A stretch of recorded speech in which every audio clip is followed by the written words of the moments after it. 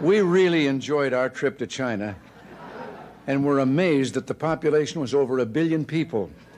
And as you can see here, the lines are terrible.